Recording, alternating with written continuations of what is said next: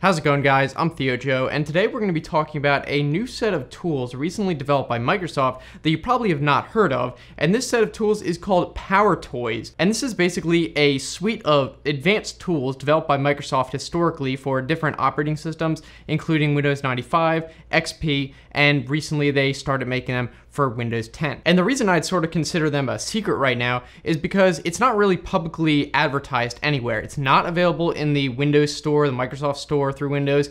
You have to only get it through the Microsoft GitHub page, which GitHub is owned by Microsoft. It's a place where you can uh, host coding projects. Microsoft has been posting it on there, and you can download the suite from there as it's being developed. And right now it's in the preview stage, which is kind of like how the Windows Terminal was before it reached its 1.0 version. They basically released the preview or beta stages, but you can get the software. It is working right now, and they're just adding to it until eventually they'll release the final version. And based on the product page, it's looking like they are planning to release the final or full release around September. So I'll just go over the names of the different tools now, and then we can go to the computer in a second and actually look more in depth at each one. So basically in this software, you have fancy zones, one called File Explorer Preview, Image Resizer, Keyboard Manager, Power Rename, Power Toys Run, and Shortcuts Guide. So why don't we go over to the computer and I'll show you how each of these tools works and what each one does over there. All right, so here we are at the computer, and this is the PowerToys menu where you change all the settings. Now, to actually download this program, you need to go to the Microsoft GitHub page for PowerToys, and I'll link to this and the download page in the description of this video. So basically, you go down, they have a link where it says downloading and release notes, and then this is the most recent version right now, release 0.19 and then at the bottom is the different ways you can download it. So it's open source. If you wanted to, you could actually download the source code and look through it yourself, but this is the installer right here, PowerToySetup.msi, and it's an MSI file. It just installs like every other program. So after you install it, then you'll be able to get the little icon. It'll show up in your taskbar, so you can see right here, and then you can open the settings, which will open this window. Now you do have the option to restart and run it by default as an administrator. I haven't found that I need to do that, so I don't do that. And also you can change the settings here. These are the basic settings for the whole thing. You can also choose to have it run at startup, which I think is actually by default. And this is probably a good idea if you use these because otherwise, you know, you have to run it every time. So let's go through these. First of all, we have fancy zones. So you might know that by default Windows, I have it actually disabled, but Windows will snap windows to different parts of the screen but you can actually use fancy zones to customize that way more. So you can actually hit the launch zones editor and this will show you some settings for possible default ones that they have pre-made. So you can have it so you can make Windows snap to columns or fo this focus layout rows and you can add multiple ones or you can even create a custom one. So basically what you do is you could see the setting is to hold shift to activate the zones while dragging and you'll see that when you're holding shift and dragging a window it'll give you the option to put it into one of these zones so you can open up other windows for example and then now it'll snap into the second one and drag it into the third so then they all go into one. And then again you can customize it in all the ways you see here. I'm not going to go into every single setting. You can look through them if you want but this is the basics of it. And then like I said you can just use any of these settings or make your own the next tool is File Explorer Preview. This one is very basic. It basically just adds the ability to preview images in these specific formats that weren't available before. So these are SVG files and Markdown files. I'll show you an example here. If you press Alt P in Windows Explorer, it'll show you a preview of images. So this is an SVG file. Normally this would not show up as a preview. It's a vector file that wasn't supported, but now it's just supported. This next tool is called Image Resizer, and this is pretty self-explanatory. It basically allows you to resize multiple images of different file types into different sizes. It'll create a copy of each, and these are the default settings that are pre-made that you'll have the option to do so. So let's show you an example. I have, we'll just do this one, but you can highlight multiple ones if you want. So I'll highlight this hill.jpg, and then you go down to where it says resize pictures, and that will bring up this Power Tools option for that. So these are the different options you see that you can actually set custom right here. So let's say I wanted to rename or resize the picture to just medium. So I click resize and now there's the medium. So if I enable the dimensions in Explorer to show you the size of the pictures, you can see the original hill is 2508 by 1672 and the medium size one is a little bit smaller. And then you also have some settings for which fallback encoder you want to use. I'm not going to pretend to fully understand all that. You can change the quality if you want, maybe just put that on 100. PNG interlacing, just keep all that by default. And then you have some options to change the file rename format for the copy it creates. You can include the file original name, the size in there, stuff like that. All right, now this next tool is called Keyboard Manager, and this one's really cool. It basically allows you to remap keys to different keys on the keyboard and also remap shortcuts, which is just remapping multiple keys pressed at once to another set of multiple keys mapped at once. So I'll show you what I mean in a second. So basically, if you want to remap a key, let's say for some reason, maybe I wanted to, I don't know, prank my friend or something, I want to remap, let's say the five number. So I'll press five, but you can also search through here, and then you can type the key that you want to remap it to. So I'll say six.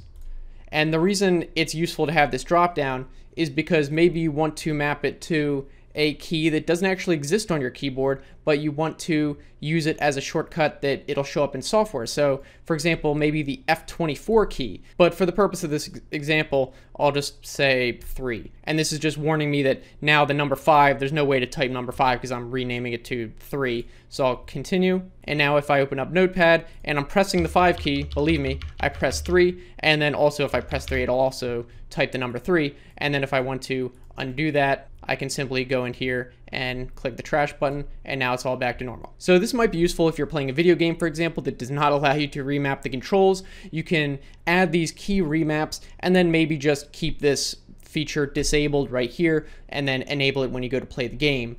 And another feature you can see here is remap shortcuts. It's basically the same idea and it does show an example here. Say you want to reverse the copy and paste functions. So you'd add the shortcut Control C, and then you map it to Control V. So basically, instead of typing Control C, when you type Control C, it'll actually do Control V, which is to paste in Windows. Okay, now the next feature is called Power Rename, and this basically allows you to bulk rename lots of different files in a more advanced way. So I'll use these three text files as an example and you highlight all three of them if you want and then go down to power rename and then that'll bring up this little window where you can search for what you want to replace and then put replace with. So let's say I want to search for example and then replace it with test and then a space and you can see here it'll give you a preview of what it will look like afterwards. So example with no space, and now it's just test one, two, three. And you can actually go through a few different options here. There's, for example, regular expressions, which I'm not super familiar with, but basically allows you to use certain coding notations that I think are in like Python and other coding languages that basically just allow you to make very advanced and specific searches for different things that you want to add and search for. You can also choose to only make it case sensitive, exclude certain files and folders, stuff like that. So you can look through there. And then if you hit rename, it now goes and just renames all three of them. And then like all the other features, there's a few options in here that you can change if you want to. All right, moving on, the next feature is called Power Toys Run, which basically adds a new type of searching capability. So you probably know that you can search for programs and stuff a few different ways in Windows. You can go to the Start menu and then type in Adobe, for example, and it'll bring you up a bunch of different results. Well, Power Toys Run adds a new thing. If you press Alt Space, it'll bring up this search bar kind of in the middle of the screen where you can actually just start typing and it will show you a set of results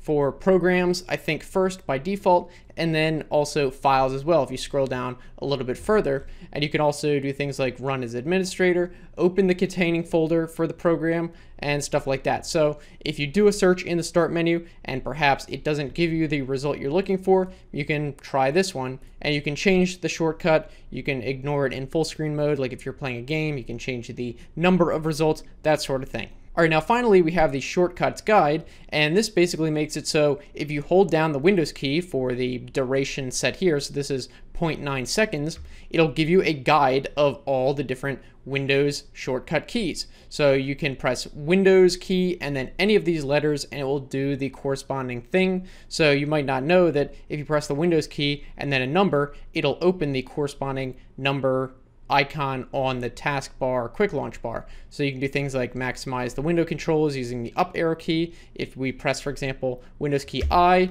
you can see it opens up the settings menu just like it said. So this is a really cool one if you maybe didn't know about all of these different shortcuts that are available in Windows. So yeah, that should pretty much cover all of these. Again, you can enable or disable all of these individually if you want, just by pressing the little toggle on each of these. So those are all the tools that are existing right now as of the making of this video. But like I said, they're actively developing this program and in just a couple of months, they're planning to go to the full release. So there will probably be a lot of changes to what I showed you and might even possibly be some additional tools by then, depending on when you're watching this video. And looking at the roadmap they do have on the product page, they show at least what they plan to have in terms of tools in the final V1 release. And it looks like the only one left that they haven't added is Alt Tab Launcher based on what I've seen. So that could be one that they're still working on that is not in what I showed you. But they've also listed some possible suggested tools that will be added beyond V1.0. And they don't show a lot of details for these, just basically the names of them. So the first one is Virtual Desktop Plus Plus. I don't know what that is. There's no details on it. I'm assuming it has something to do with the way that Windows has virtual desktops. Maybe it'll add more features to that. There's also Maximize to new virtual desktop. Animated GIF recorder. I mean, that's pretty self-explanatory. That would be pretty cool. Had to have kind of like a built-in video recorder on your desktop that is actually converts things to a GIF. There's a suggestion called Power Menu, which apparently was a feature in older Power Toys versions, like in Windows XP maybe. And some specific sub features in this one include being able to end task with the taskbar context menu. So you could just right click and hit end task. Maybe if closing it through Windows Explorer doesn't work, that'd be nice. Also the ability to select always on top from the taskbar context menu. That would be also good. There's also a suggestion for a file hash ability to view that like in a file tab. I do have a program called HashTab already, which already does that, but to have a feature that's sort of sanctioned by Microsoft would be cool too. Another suggested feature listed here is called End Task with Mouse. So I don't know what the details around that are. And then finally, Find My Cursor is another suggestion, but there is kind of already a feature in Windows like that. If you go to the mouse settings, there is the ability to say if you press the control key, it'll kind of show a circle around the mouse for where it is, although maybe this feature in Power Toys would allow you to customize that more. But again, those are just suggested new features. Those are not officially planned out or anything, so we might not see any of these. We might see features that are not these in future versions, so just be aware of that. So yeah, just a pretty cool set of software. Now you know about it. You can go out and get it if you find any of these tools useful. If you guys want to keep watching, the next video I'd recommend is one talking about the brand new Windows redesigned terminal. I did make a whole video about that. You can click on right here. The new terminal is really cool, highly customizable. Definitely suggest that video. So let me know what you guys think down in the comments. Thanks so much for watching, guys, and I'll see you in the next video.